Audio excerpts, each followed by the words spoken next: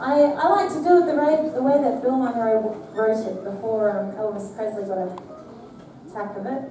Kind of just took it and made it sound completely different. But he first sang this, this is the first song that Bill Monroe ever played on the Grand Ole Opry. And we're going to do it just like he did it that night. And this one's called Blue Moon of Kentucky.